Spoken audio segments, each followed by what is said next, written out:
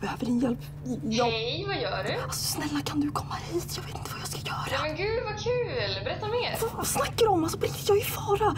Fattar du vad jag säger? Nej, jag skojar bara. Ehm, lämna inte ett meddelande efter pipet utan messa istället. Det är mycket enklare. Love ya! Puss på er!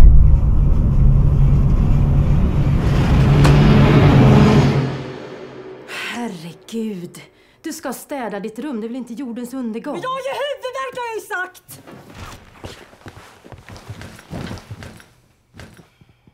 Snälla lilla.